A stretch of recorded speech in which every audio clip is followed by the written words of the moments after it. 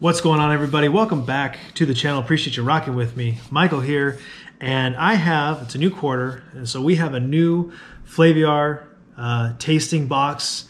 I'm really excited for this one. This one was actually really, well, this choice wasn't tough, but the making the choice was tough. Uh, they had a really incredible selection this quarter. Um, there were a lot of bourbons, some ryes. There was a gin box that sounded really interesting. Um, had a mezcal, which is something I've always wanted to kind of experiment with. But when I saw this, I knew we had to do it. How do I want to start this? Let's start with the pull tab. I talked about this last time, but I had already kind of gotten into it. So I want to show you guys how it works. You got this pull tab, and it's really tight. You pull it up, and you get, first of all, this little, I'm going to call it cement. I don't actually know what the material is, but I'm trying to separate the cards here. But you get the cement coaster gimmick um, clay. It's probably clay. Um, let's see. You have what do we got? You get this little card that kind of gives you a brief synopsis of what you have, and then you have the um, sticker cards and the ABC cards. And I haven't looked, but on the other side it tells you which spirit uh, corresponds with which, with which letter, and then you have uh, the cards with the stickers on it that have the uh, the names. Um, I'm really excited for this one. This is a Japanese whiskey tasting box. And there's our three vials. We're going to do three separate videos, so we're just going to do, uh, I guess we'll just start with A, why not? We'll do A today. I love Japanese whiskey, but the thing that uh, attracted me to this is that all three of these come from distilleries that I have never had. Uh, so these are all brand new to me. I'm really excited for that. My experience with Japanese whiskey is a little bit limited. It's mostly um, the Hibiki uh, whiskeys, mostly because they're the easiest to get. Um, so when I saw this as one of the options, I was I was really excited to get this box, and it couldn't get here soon enough. Um, let's see. So this is A. So let me get the tasting card here. Um, this is what would that be 84 proof so you know for a cask strength it's a little bit lower. You know a little amber in color pretty thin which is typical of japanese whiskeys uh, at least in, in profile. Um, they're usually a little bit thinner in taste as well. We're to do what we always do. I got my shot glass. We're to try it straight. I do have my rocks glass. Now i only have one ice cube today and i want to point that out because again, in my, in my limited experience, Japanese whiskeys tend to be more delicate than like a complex scotch with you know eight layers of flavors. So I find that they just need a lot less um, to really uh, unleash the flavor profile. So I'm not gonna waste any time. I'm really excited to try this. Let's dive in, break the seal. I love these little vials too. These are so much fun. Smells really good. Smells really good. And just because I'm clumsy, I'm to put the cap back on.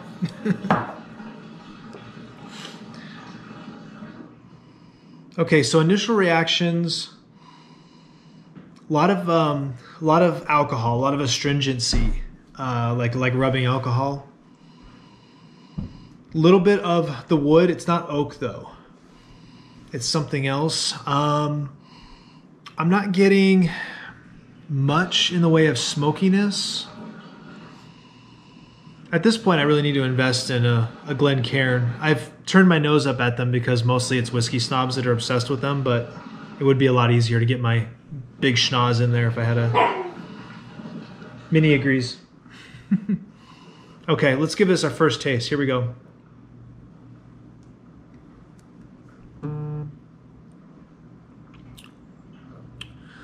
Um, very astringent.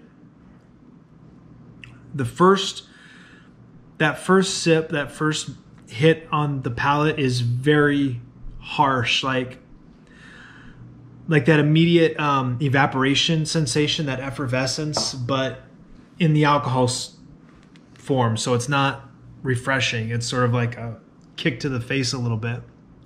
Um, I'm getting a sweetness of, of some sort, like a like a dried fruit, maybe that kind of that combination of of um, earthy sweetness that you get from like dried blueberries, something of that sort. I'm not getting a lot on the smokiness. Like it's it's kind of there, but it's it's not forward at all. Um, I wish I could identify what that wood taste is. I can't quite put my can't quite put my finger on it what that is. But um, let's do the rest over ice. I'm gonna turn down the baby monitor.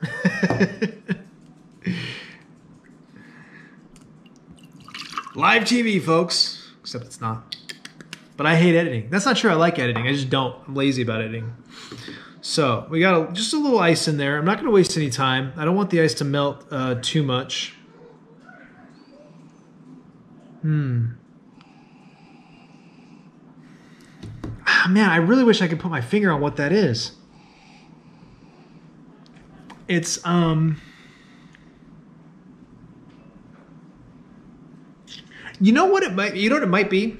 It might be new oak. Maybe that's what's confusing me. It might be new oak, so it's not a charred cask. I also wonder if maybe they're doing new oak with charred chips, which is a technique, not so much using new oak, but using charred chips is kind of a technique that some distilleries use to speed up the maturation process. So I'm wondering if it's something like that, some sort of combination of, of a new oak and maybe a char. Or I've heard in some with some Japanese distilleries, they're actually um, pumping smoke in and letting it kind of absorb um, into the alcohol as opposed to um, infusing it through a uh, through a charring process.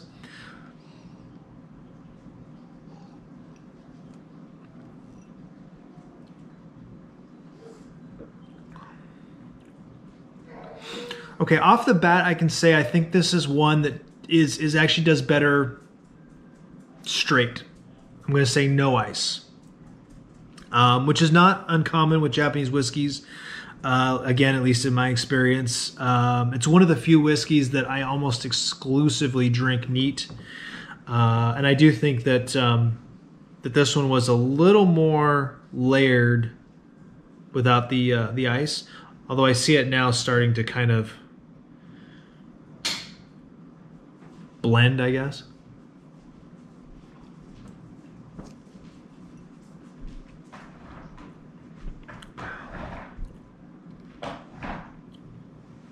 It's very it's very strong. It's surprisingly strong for 84 proof. Um, and what's what's interesting to me is that it's burning up front as opposed to at the end, which is usually what you kind of have. You know, when you when you like if you take a shot and it burns all the way down, um, it's not. It's the burn is immediate. Like the minute it hits your palate, you feel it. You feel it in your soft palate, in your nose, on your tongue. Um, and then when you swallow it, it's actually pretty smooth at that point. So I don't know. It's very it's very odd. It's not like anything I can think of that I had before. Um, it's good. I don't like. I certainly wouldn't turn it down, but I can tell you that it's not one of my favorites. Would you want to smell it? Yeah, I do. All right, let's. I'm gonna start with the. Um, yeah, the informational I feel card. like I could wash my face with this. It's very astringent. Um, let's start with the informational card for the box. Dive deeper into the rich world of. Oh, they're all uh, Nippon, Nippon, Nippon, Nippon, Nippon. I think it's Nippon whiskey. So these are all Nippon. Okay, and I, to my knowledge, I don't think I've had one. William agrees. Um, the Japanese booze landscape is teeming with uh, extravagantly different, under the radar, rare, and straight up bonkers spirits. A sake like whiskey from ex brandy casks made from rice that had koi carp police its weeds. A Scotland born spirit from ex sherry barrels whose water was filtered through a goddamn volcano. It says. Or a ridiculously rare, no age statement gem from a mythical place. Uh, it sounds like we're making this up, but these are real spirits, and they jubi- they jubilate, they jubilate, jubilate, the Japanese ingenuity and imagination. Okay. So what did we try? We tried oh- Ohishi, Ohishi, Ohishi, Ohishi. I'm usually really good with um, Japanese words until you put me on the spot. Eight-year-old sherry cask, Japanese whiskey. Um, okay, so it's an ex-sherry cask, and that would explain the uh, that kind of dried fruit uh, that I was getting, and and also why I felt like it wasn't a charred barrel because it was aged in a in a used sherry cask. So that that makes a lot of sense. Uh, flavor profiles: oak, um, spiced fruit, which we got, floral, nutty. Uh, I didn't get rice. William has a lot to say. This is our life these days. That's all right. I'm leaving it in. I don't care. It's um three thirty, and I'm drinking straight whiskey. If, if that one, if you gives you any uh, any indication, they have smokiness on the upper end of the tasting profile, but I'm really, I'm not getting it. I mean, it's there, but I would not say it's the dominant flavor. I think the spiced fruit definitely stands out more. Um, the the oakiness stands out more than the smokiness for sure.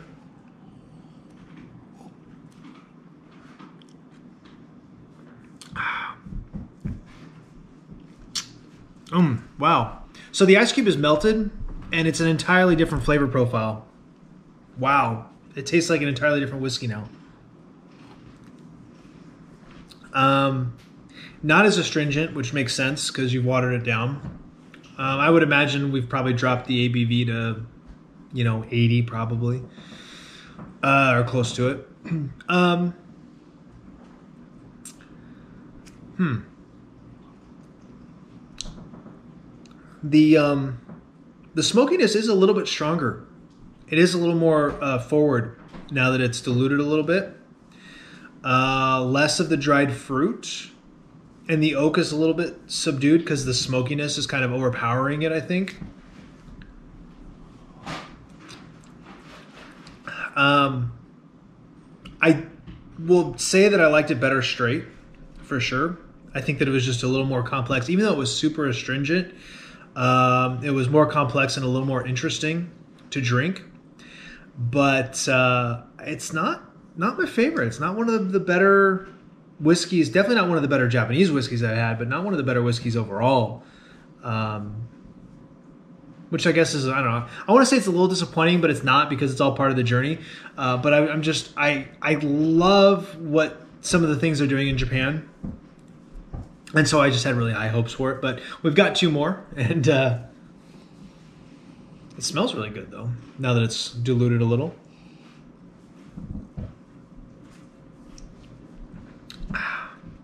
It's gone. I know I want another snip. Oh. Okay, so that was Ohishi eight year old sherry cask Japanese whiskey, 42.1%. Oh no, this is what I want the stickers. Here we go. Here's our sticker. I've been saving, here it is, all of the uh, test tubes. The nice thing about doing this uh, selfishly is that sometimes I forget if I've had something or what I thought of it and now I'm able to go back and say, "Oh yeah," you know.